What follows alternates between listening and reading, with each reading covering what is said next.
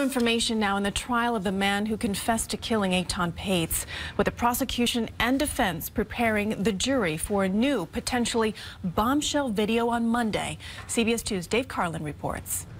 Interrogation videos will keep coming in the trial of Pedro Hernandez, who's charged with killing six-year-old Etan Patz in 1979. Last week, jurors saw three hours of police questioning, including this moment when Hernandez confessed. I grabbed him by the neck and I started to him. I, I was nervous, I was, my legs were jumping.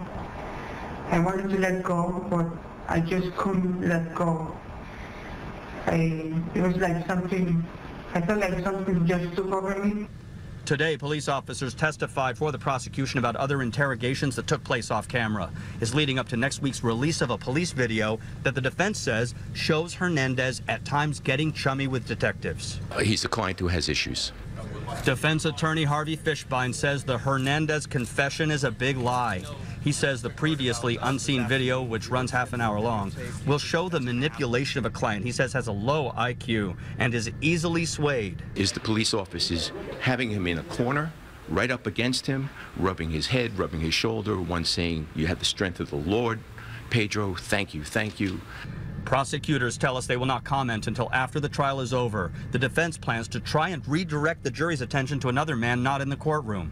The Patz family won a civil wrongful death case against Ramos in April 2004. An informant who spent time in prison with Ramos may be called to testify. The previously unseen video is expected to be shown in court Monday. In Lower Manhattan, Dave Carlin, CBS 2 News. Etan's father, Stan Patz, attends court every day. The boy's mother, Julie, testified one day, and that is the only appearance she has made.